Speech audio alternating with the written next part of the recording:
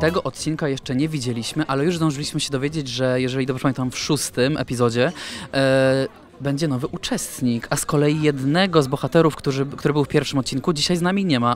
Wyjaśnisz nam tę sytuację? E, w- e, wyjaśnię w ten sposób, że tak się rzeczywiście wydarzyło, natomiast jeżeli liczysz na szczegóły, to, e, to nie, bo to by odebrało całą jakby dramaturgię i też smak oglądania tego, bo rzeczywiście w pewnym momencie to, co ja mówię o tym, że zarekwirowany na sprzęt, naprawdę to, To był był dopiero taki, początek. To był dopiero początek i tak naprawdę prawdziwy moment takiej próby i naprawdę, powiem Ci szczerze, najbardziej kryzysowa sytuacja w czasie całej mojej pracy w mediach przez 10 lat nie było takiej sytuacji, która wydarzyła się w Stambule, która by się równała nawet z tą sytuacją. Sytuacja bardzo dramatyczna, bardzo ryzykowna, no totalny, totalnie kryzysowa sytuacja, no, która spowodowała to, że e, grupa wróciła w innym składzie niż, niż pojechała. No ale nie będę mówił szczegółów, one są, no, no to, to było dosyć mocne doświadczenie, wszystkich nas e, dotknęło. No ale faktem jest, że po prostu grupa, która wróciła z Turcji była inną, osobowo również grupą niż ta, która pojechała. Ja o to też zapytałem, no bo tak jak wspomniałem, e, jeden uczestnik jest nieobecny, ale wszyscy są cali, zdrowi i wszystko jest okej. Tak, wszyscy są zdrowi. Ob-